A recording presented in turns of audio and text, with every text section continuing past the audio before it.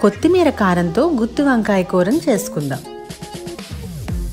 ముందుగా మనం సిద్ధం చేసుకోవాల్సినవి తాజా వంకాయలు ఒక పావు కేజీ కొత్తిమీర ఒక కట్ట జీలకర్ర రెండు స్పూన్లు పచ్చిమిరపకాయలు మనం తినే కారాన్ని బట్టి పచ్చిమిరపకాయలు తీసుకోవాలి. పసుపు చిటికడు సాల్ట్ తగినంత చింతపండు చాలా కొంచెం తీసుకోవాలి.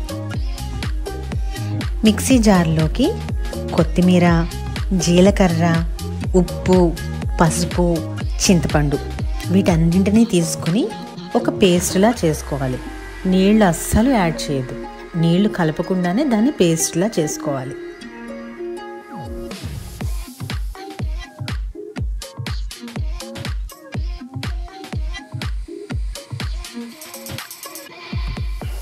తర్వాత వంకాయల్ని శుభ్రంగా కడిగి వాటిని నాలుగు చీరికల్లా చేసుకోవాలి. ఈ విధంగా.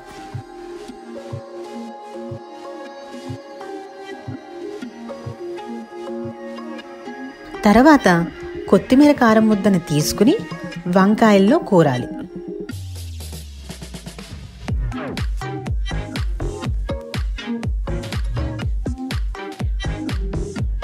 ఒక ప్యాన్ తీసుకుని స్టవ్ మీద పెట్టి ఫైవ్ స్పూన్స్ ఆయిల్ వేసి వేడి చేయాలి.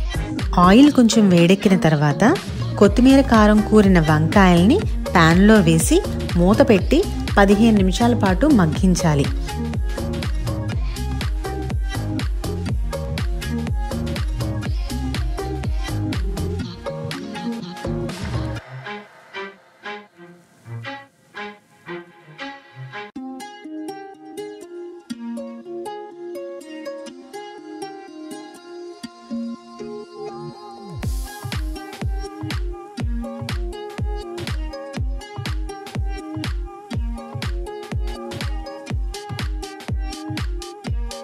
మధ్య మధ్యలో ఆ వంకాయల్ని కలుపుతూ ఉండాలి.